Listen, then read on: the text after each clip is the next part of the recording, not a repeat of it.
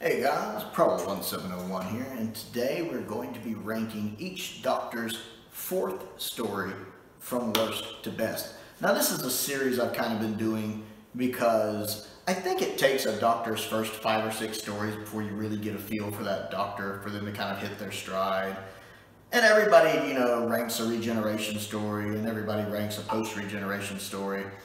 But when I was thinking about each doctor's second story, I realized no one had ever done that. So I did a video talking about each doctor's second episode, which you can find up here, which I actually liked. I, I realized really quickly I like most doctors' second stories. And then I thought I enjoyed that. I've never seen anyone rank, you know, their third story. So I decided to do a video ranking each doctor's third story, which were hit or miss, as you can imagine, and you can find that one uh, up here as well. I'll also have links probably at the end of the video for those. Um, and so I decided to do each one's fourth story. I'll probably do a fifth story eventually. I figured the first, you know, the second, third, fourth, and fifth will really get you through it. So I wanted to rank each Doctor's fourth story. The main reason I wanted to do this was when I got to the top two. Because it, it really clicked in my head when I was looking over which stories were each Doctor's fourth stories. And I realized my number one and my number two were going to be almost impossible to decide because they are both epic stories, essential stories, iconic stories, and something, both stories every Doctor Who fan has to see and needs to see. Um, and the fact that I knew it was going to be almost impossible to pick between them is the reason I knew I had to do this list. I had to challenge myself and to be able to explain why I could or couldn't pick them. And I did finally choose between them. It was it's one of the most difficult decisions I've ever had to make ranking something in Doctor Who because both of the stories are just phenomenal masterpieces of Doctor Who. But we'll get to that. But we're going to start at the bottom of the list. And when I say we're starting at the bottom, we are starting at the bottom with one of the worst stories that's ever come out in Doctor Who ever. And that's number, well, I guess technically it'll be 12. There's not an 8th Doctor one because I just haven't seen a lot of the 8th Doctor stuff. I haven't really heard much of his audio. So there's only going to be 12 places. And then 12th place at the bottom. Arachnids in the UK. Oh my goodness. Utter garbage. Complete and total garbage. Is there anyone that will really try to defend this story to me? Total shite. Garbage. Garbage. Garbage. Everyone involved in this just seems to be in a moron. The whoever wrote it, whoever directed it, the people in it, especially the doctor. This is another, this is like the modern Who version of Kinda.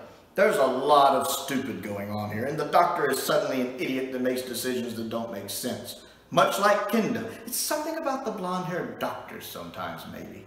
Um, you know, her thing about, no, you can't shoot that spider and give it a quick death. How dare you? Instead, we should let it suffocate slowly. That would be the humane thing to do. Uh, doctor, didn't you just kill a bunch of the babies like two minutes ago by blowing them up or something or another? Are you really the one to be giving moral lessons here? Which is it's awful because you can do a good Doctor Who story about spiders, supposedly. I don't know if they have yet. I think they've done a decently good one with Planet of the Spiders, which to be honest is still a little disappointing, but it's, it's, it's good. It's not great, but it's good. Kill the Moon sucks, and this one sucks. Maybe Doctor Who should just forget about spiders. Hmm. But yeah, this one, total garbage. Nothing redeeming about it, for the most part. There's a couple little sequences, like when the dude gets dragged away in the bathtub, maybe. That's kind of neat. Or when you see people just hanging by their feet. But for the most part, yeah, pretty garbage. Number 12 on the list, continuing with more garbage we have listen. And my thoughts is I don't want to listen to it or watch it. Listen is more garbage. One of Capaldi's worst episodes, while sadly not being his worst episode. Listen is one of those, I enjoyed it on first viewing all the way up till the ending. And this is probably the first instance I can think of when it suddenly becomes the Clara show. And it's all about Clara taking over and the doctor being her plucky sidekick. Uh, the ending to listen is one of the most frustrating things in all of Doctor Who. I think it irks me even more than the Timeless Children does. It just makes me want to scream at the television. And it's nothing against Jenna Coleman. She's a fantastic actress. It's just the, the direction they chose to take Clara with Capaldi from this episode on. Uh, it just frustrates me. Where so many times he feels like her sidekick. I still say the first female doctor was played by Jenna Coleman.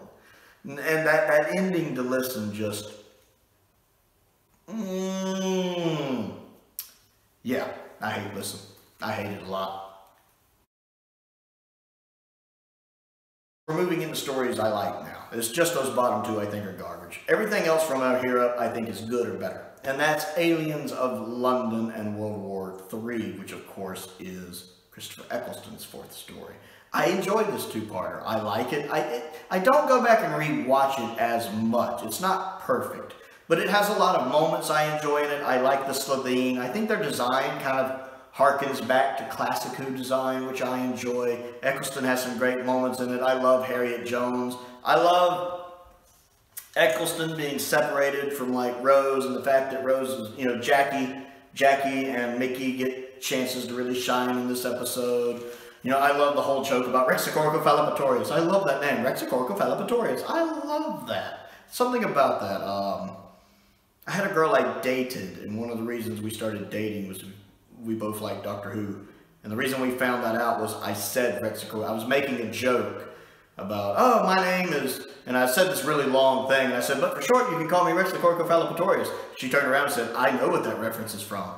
And we got to chatting over that, and we ended up dating for over a year. So little things like that. Um, I really, really uh, enjoy just some of the humor in this, but it has those serious moments too. Uh, I like Harriet Jones a lot. The farting thing's a little weird, but it's fine. I like the guy playing the Slitheen, that's like the vice prime minister or whatever, the larger guy. I like him. He does a really good job in this role. And I like the, the woman, Slitheen, the one that shows back up in Boomtown. I like her in this. She does a really good job. I like this one. It's good without being great. I just, it's not one I go back to, but I've always enjoyed it when I've watched it. Marco Polo. Now, I have never listened to the whole recon, but I have watched the 30-minute cut down. And so I feel that's good enough for me to put it on this list because I did like the cut down. The pictures for it worked really well. It gave me the gist of the story at least. And I did enjoy the 30-minute cut down, I can say that. It's one of those I really wish they would find it, at least part of it, but I'd love for them to find the whole thing because it really does strike me as a very epic adventure looking at the behind the scenes photographs, it looks like they really put some money into it. I like a lot of the costumes and stuff. So I, I really would like to see all of Marco Polo one day. Since it is one of those stories, you know, you expect there to be some copy of it out there somewhere. Because I know there was several copies of it made, more so than some of the other missing stories. So, um, yeah, I enjoyed the 30-minute cut down of it. Is the Time of the Angels two-parter, uh, what, with Flesh and Stone, I think was part two. I like part two more than I like part one, but they're both good. I like the start, the parts that start on the ship it's pretty cool. Uh, it's nice having River Song back. Uh, I enjoy her with this. Again, it's still early days for Matt, so I like the fact she still kind of knows more than he does here. Uh, I enjoy when they get on the planet. I love her little thing about, I'm an archaeologist. I dug you up. I enjoy that. And now she just escapes. Uh, and then the TARDIS catches her in space. Yeah, I, um, I enjoyed this one. I love when they realized all the statues they've been seeing aren't normal statues because the race that used to live there had two heads. And you see them both kind of make that realization at the same time. The doctor's just like, Oh. Because that seems like very the doctor. He's so smart and so intelligent, but there's so much he knows that some of it kind of gets lost. Like Tennant said one time, oh, I'm so thick, I, you know, it's like I got so much stuff in my head, I need a bigger head, you know? Uh, I love, that's a very doctor thing to do. I love those moments when the doctor has a very doctor moment where he just forgets something that he shouldn't forget, but there's just so much in there that he can't pull. Know, it's like he's got an index catalog, but it's not organized very well, which is also very the doctor. So I love that moment when it, it takes him that long to go be like, oh. now, I don't like everything, the whole angel in Amy's eye and anything that's an image of an angel becomes an angel. I never really cared for that. Uh, I do like part two. I do like the fact that weeping angels can kill you and talk with dead Bob's voice. That's pretty neat. I like the way he tricks them at the end and shoves all them in the crack to temporarily seal it. It's a good adventure. It's not nearly as good as Blink, but it's probably their, my second favorite outing of theirs. Although Village of the Angels would be a strong contender if it wasn't tied into flops, because I do like Village of the Angels. As a standalone episode, it would have been really good. That's just kind of where Time of the Angels falls for me. I like it, even though, again, I don't go back and rewatch it a lot. Number seven on the list. Now, numbers four, five, six, and seven were the hardest parts to do. A lot of time when I'm doing ranking lists, the top ones are easy to do, the bottom ones are easy to do, because I know the ones that go on the top, I know the ones that go on the bottom. It's that middle area when you have trouble, like when you're ranking the doctors, when you're ranking the logos, when you're ranking the music, when you're ranking the masters, all of that, the middle ones are always the ones where you're like, hmm. and, and that's the same thing here. Four, five, six, and seven are like, we're talking a razor's edge difference between them. They're all, it's almost a four-way tie. And if you ask me tomorrow, they could completely flip around. And the reasons why one might rank higher than the other isn't because necessarily the story is better, but it might be some other aspect, which I'll touch on in just a moment. But they're almost a four-way tie. I just want to make that clear. These middle four were really hard to organize.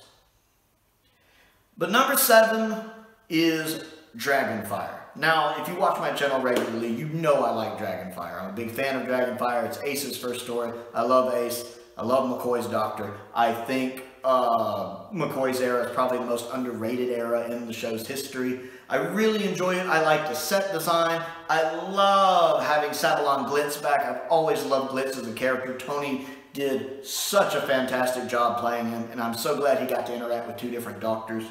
I love the fact that the alien, which is kind of a knockoff of the alien from Alien, actually turns out to be a benign creature and a nice little twist.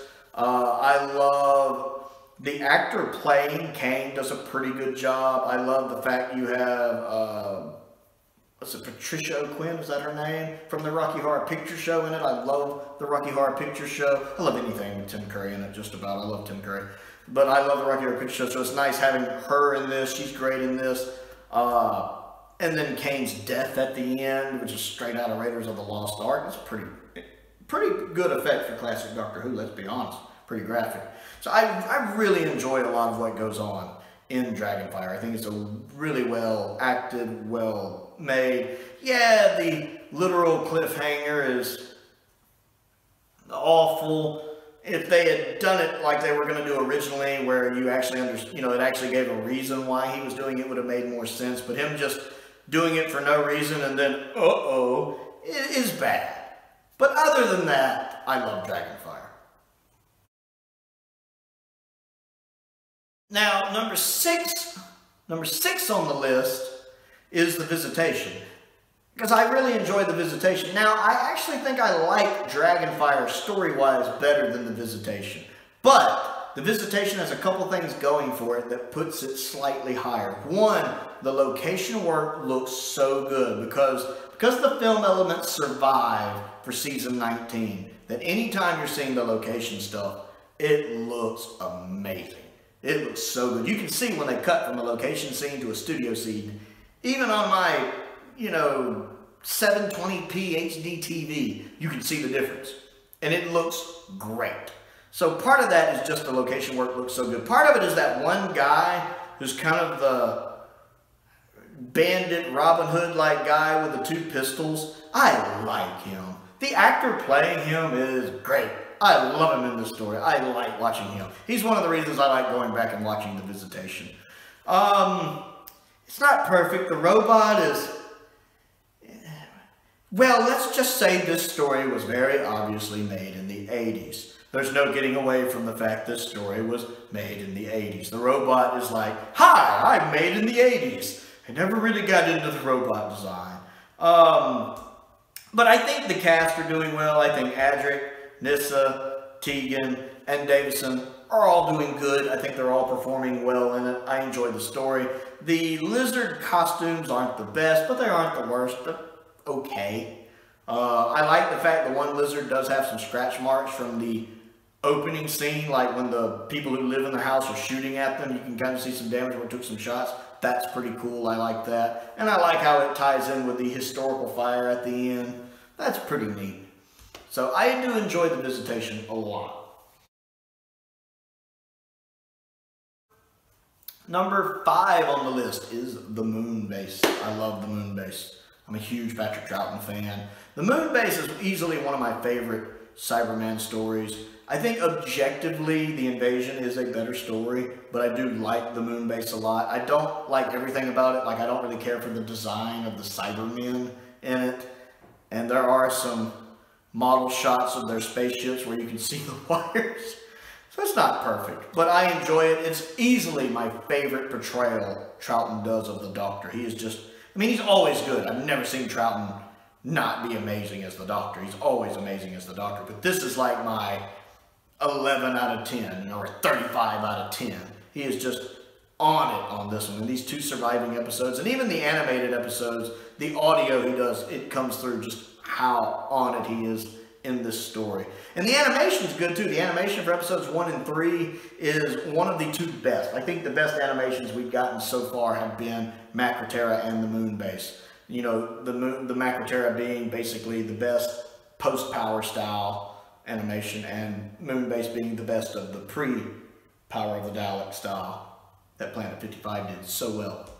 I love the animation in this. It really gets their likenesses down really well. And even some of their mannerisms, like that smile Troughton does so well. Uh, but the surviving footage is just, those surviving episodes are so amazing. With episode 2 having one of my favorite cliffhangers in all of Doctor Who, and quite possibly my favorite Troughton performance in there, when he gets so panicked. Did, did your men search in here? Did they search in here? I love the way Troughton does that. The sense of urgency he conveys in his face, in his man, his body language, and in his voice. That is a sign of a good actor when your when your facial expressions, your body language, and your tone and the words you're saying are all in sync perfectly in character. Uh, he just blows it away. He's such a phenomenal actor. Um, I absolutely love the moon base, and he's a strong part of that. Strong, strong part of it. Uh, number four on the list is Mark of the Rani. And again, four, five, six, and seven could shift around on any day. You know, Mark of the Rani could go from 4th to 7th tomorrow. I like Mark of the Rani. My first watch through of it was earlier this year when the season 22 box set came in. I'd never seen it before. And I really enjoyed that first watch through. I loved the location work. I love the incidental music in this one. I really, really enjoy the incidental music, which is interesting wasn't since it wasn't the original commissioned incidental music because the guy who was writing the original music passed away and they just started from scratch with the guy they got to do it afterwards. But it's really good. It's really good instrumental music. Uh, I love Kate O'Mara as the Rani in this. She's really good. I, I love her in Time the Rani as well. Kate O'Mara's just amazing. She's so good in this. I like Anthony Ainley in this. I enjoy Colin in this. Colin has one of my favorite moments in this, and he does it without saying anything. It's when he's hiding in the Rani's TARDIS, and he's overhearing the Master and the Rani talking, and then they leave because they don't know he's there. And he walks up to the console with like a screwdriver in his hand. And he just gets this most mischievous little grin on his face. Like you know he's going to sabotage something. He just looks at the TARDIS console and he's like...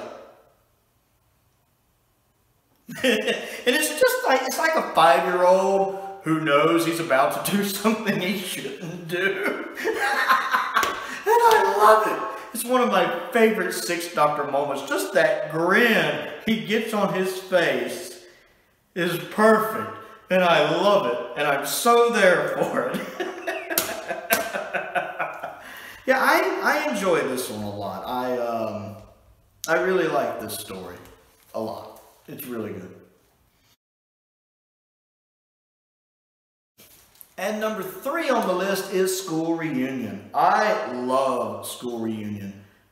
It's a great way. I think it's the first time when you really see the modern show really tie in with the classic show, bringing Sarah Jane back, bringing K9 back, and bringing that connection that the Doctor and Sarah have together back. And it does it so well in this story. One of the, my favorite things I've ever heard is uh, my favorite Doctor Who reactor is uh, Jess from Seska Says. I love her reactions. And I love the fact that she not only has done modern Who, but she's going back and watching classic Who. But I remember her talking about school reunion, and she's mentioned this more than once, where even though she hadn't seen classic Who when she watched school reunion, she was able, just from this episode, to get the history these characters have and that they've had and that they share and the bond between them and how close they were. You're, the fact you're able to get that without having seen the classic series, without having seen them together previously, the episode does such a good job at how it's how it's written, how it's directed, and how David Tennant and Elizabeth Sladen play their characters that you get that bond and just how close they were. I, I've always loved the fact that she got that from her first viewing of that. And she's referenced it in other videos as well. And I, I agree. I think you don't have to have seen Classic Who to get just how important these characters are to each other and how important, important a moment this is for the show because I'm pretty sure people who were watching the show who were aware of that the previous series existed, even if they hadn't seen it, they they realized that there was an old show. You know, they understood the fact, hey, this is a character from the old show. And then you start to get just how close they were. It does a really good job of that. I love the creatures in it. Uh, some of the CGI hasn't aged the best, but you know, if I can forgive some of the effects in Classic Who, I can uh, forgive the effects here. Um, I love the fact that you have uh, the guy from Merlin who played Uther, who also played Buffy the Vampire Slayer, as the headmaster. I like him. Anthony Anthony Head, is that his name? I like him. He's really, really good in this. Uh, he, he, plays the part perfectly. I love when him and the doctor are interacting together because there's almost a type of mutual respect there, almost like a uh, like they're trying to solve things diplomatically, maybe testing the, or maybe just testing the waters, seeing the boundaries each other has. I love the fact that Tennant's still kind of, you know, he hasn't quite softened up yet here. You know, he's like, you know, if I don't like it, it will stop. You know, you get one warning, that was it. I love those lines. Tennant is still very much suffering from the scars Eccleston suffered from. He hasn't softened up here. He's not, you know, no second chances. so I enjoy a lot of that exchange. I love seeing K9 some of the shots of K9 using his laser are really cool. Like the one overhead shot where it pans when he's firing is a really cool shot. You know, K9 sacrificing himself to blow up, you know, the school to save everyone. That's a touching moment for someone who grew up with the classic series who loves K9, you know. I love the fact he builds her a new one, of course. But that's still a touching little moment, even if it is, you know, even if it's not the same K9 that we mostly saw in Classic Who, of course you know, the K9 Mark III. But still, it's, you know, and, uh, you know, kind of seeing the conversations between the doctor and Sarah. You could have come back, you know, I couldn't. It's some very touching moments. I love their first interaction when she sees the TARDIS. When Sarah Jane finds the TARDIS, that whole, the way that camera shot works when she backs out and the camera spins around and you see him standing behind her with that enigmatic look on his face. That's a wonderful camera shot. And then that conversation afterwards, that exchange between them is just phenomenal. It's such a well-written episode, such a well-directed episode, such a well-acted episode. And while Series 2 is very much a mixed bag, it definitely has its strong moments, and this episode is one of those.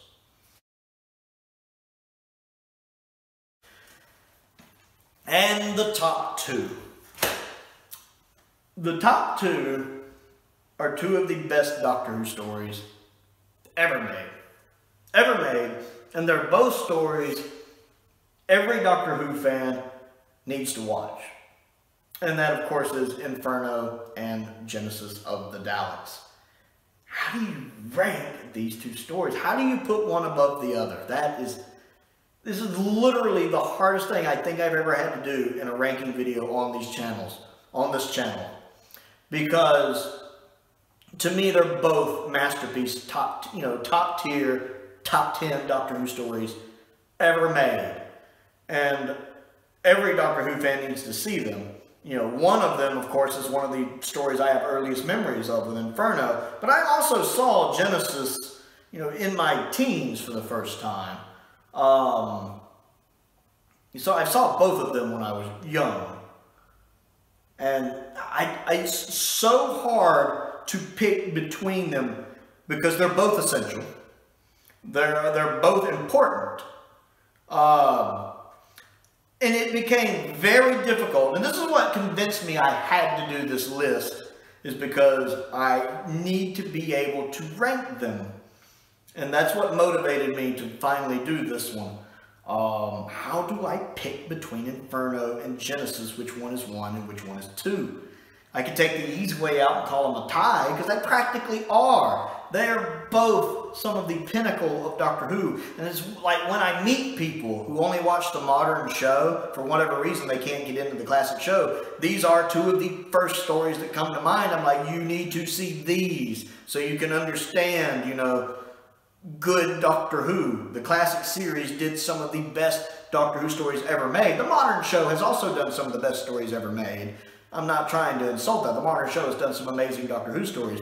But the classic series did several of them, a lot of them. And these are two of the best of the best. And I, I find neither of them drags. I know some people will say that Genesis might drag in the little, a little in the middle, I rather. I can't talk today. Some people might say Genesis drags a little in the middle.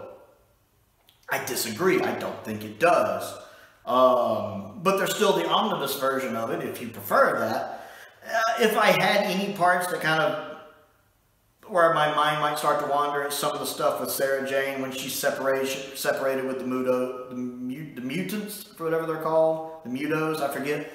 Um, I will admit I don't find those parts quite as interesting, but I still wouldn't want to watch the omnibus. I'd rather watch the whole thing. And then there's Inferno, which is seven parts. But I'm going to be honest, I don't think Inferno drags anywhere. Inferno is living proof to me that you can do a Doctor Who story that's longer than four parts and even longer than six parts, and it's still balanced perfectly. I feel like Inferno is balanced perfectly. It has so many different things going on, so many different balls it's juggling, and it never misses a beat. It never nearly drops the ball. It is perfect with all of its different little plot points between the parallel worlds. This one has this going on. This one has this going on. The doctor's still trying to get back to this one. Then he has to get back to this one. Everything feels balanced perfectly.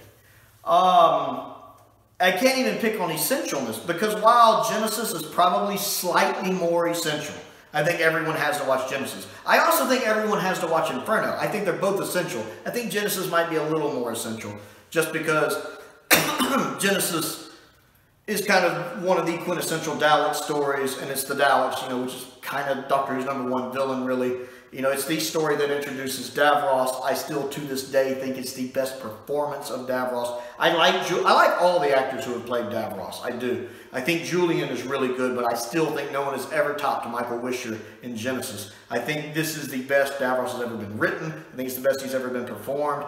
And the interactions, every time Tom Baker and Davros are interacting, is gold in this story. Gold. It does such a good job of introducing Davros that I can see why, even though he dies in the story, I can understand. And there's always that part of me that wishes he would have died in the story, like permanently. It would have been like, you know, the perfect ending for him to come up. And, But it's easy to see why he came back because he's such a fantastic villain. And then, you know, the, the Daleks had always had, you know, parallels with well, let's say World War II Germans, just because YouTube doesn't like that word. So let's say World War II militant Germans.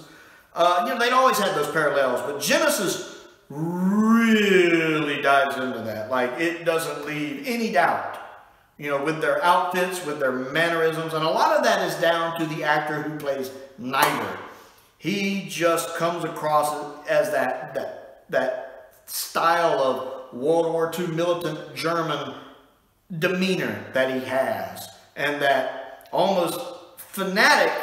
I don't mean fanatic as in like outwardly fanatic, because he's a very he's very calm. He doesn't really get fanatical vi visually. He's a very calm and cold. But the fact that kind of devotion he has to Davros, even when Davros starts doing very obviously bad things, he has that kind of fanatical devotion to him all the way through, all the way through, is very reminiscent of some people in Germany at that time.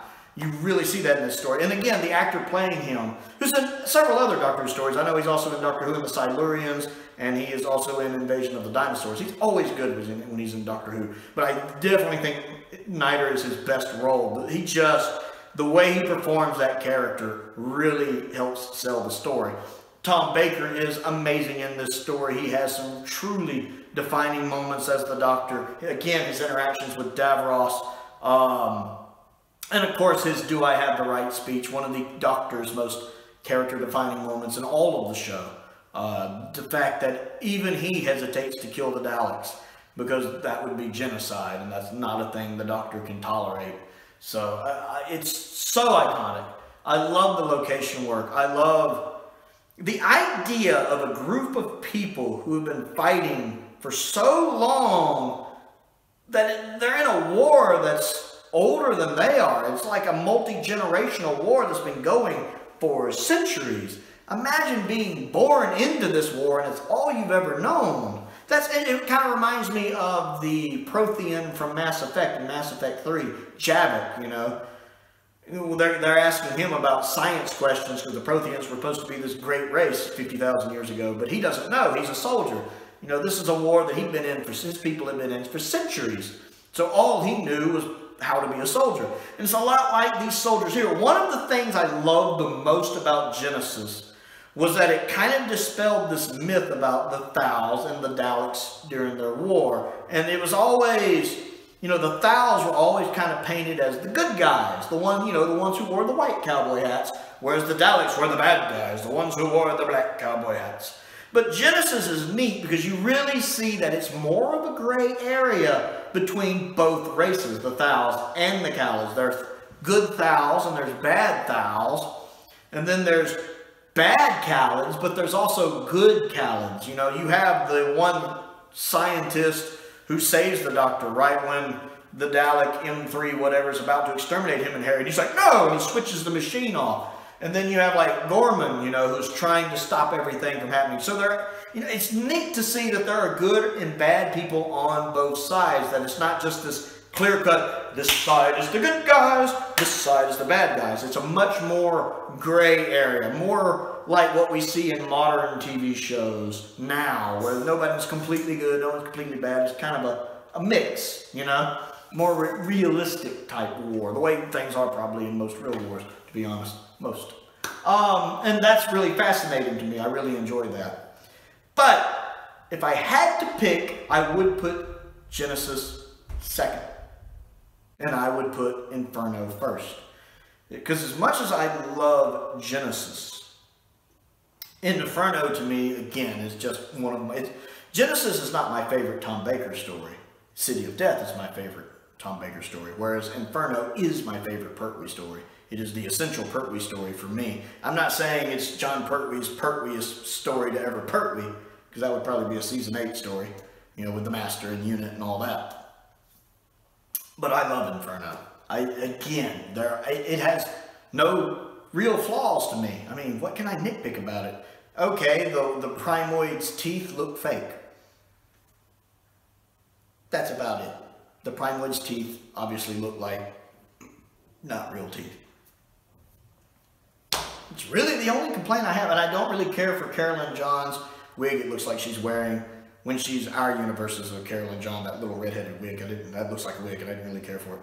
I actually prefer the uh, alternate universe Liz in this story, which is funny because Caroline John also also preferred the alternate universe Liz in this story as well. She liked getting to play that character more, found it more interesting. So I love I love that we both feel the same way about that. Uh, I love Inferno. It never drags. I love everything going on with the Primords, you know, the werewolf creatures. I love the actor playing Stahlman. I like him because he, he it doesn't feel, he doesn't feel like a two-dimensional character to me. He feels very fleshed out. You know, it's his life's work. I get that. I get why he's so anal about everything that he's anal about in it. Is because, you know, it's his life work. And I like the fact that when he gets infected, you see it toying with his mind. Not just, you know, it changing his hand. You see it affecting his mind. You know, about like the temperature changes why he becomes more insistent on the drilling. It's like, and he doesn't even realize it's affecting his mind. It's like taking parts of his personality and amplifying them. You know, his haste, his his frustration, his not wanting to listen to other people, and just kind of makes them worse, kind of tweaks what's already there. And I like that. I enjoy getting to see Benton kind of be bad Benton, because it doesn't seem like a lot of difference.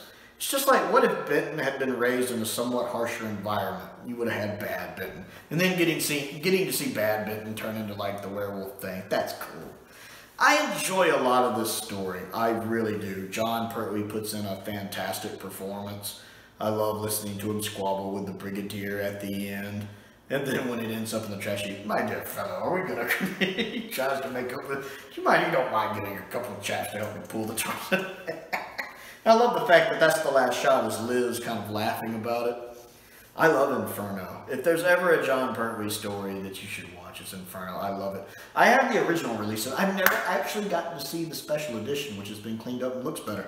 I've only seen, uh, you know, the way it looked in the 80s when I saw reruns on PBS, and then the original release. So even without seeing it touched up with the color restoration, I still love it. I think I think I have the special edition on my Amazon wish list. You know, just just saying. Um, but I love everything about it. The location work looks good. The studio work looks good. I like the guy who's kind of playing the guy who's supposed to be there to advise Stahlman, but nobody ever listens to him. I think he's like an engineer or something. The guy playing him, Sutton, is that his name? Sutton? He's really good. He's really, really good. I like him in this a lot too. Um, everyone just seems really well cast in this story. I really, really like it. I love some of the stunt effects too, like when a guy has to fall down from up top. I enjoyed that. And it's got, um, I can't, the guy who plays Sir Keith, I think he's the same guy who plays Jago and Talons of Weng-Chiang, and then he also was in Unicorn and the Wasp. It has him in it. And I like him. I love when he shows up in the story. I like Sir Keith. So, great story. Inferno. My favorite. One of my favorite Doctor Who episodes of all time. My favorite Pertwee story. So I want to know how you would rank all of these and what you think of my ranking. So comment down below and let me know. Other things to do, click the like button and the subscribe button and the bell for notifications so you never miss out on another video. I also have a Patreon if you like what I do. And that helps me pay the bills as well. So if you would like to contribute to that, go ahead and check that out. I have a link to that down in the description below. I want to give a shout out to Colin Coney and Stephen Crane. I appreciate their continued support, two of my top tier patrons, as well as all of my other patrons like Alice and J.O.B. Who and Unknown Don't Trust the Numbers and all of the others as well. I appreciate every single one of you. Trevor, thank you very much. I also have a uh, P.O. box if there's anything you would like to send me. That's down there as well, as is a link to my Amazon wish list and my Amazon UK wish list. Most importantly, though, thank you for watching.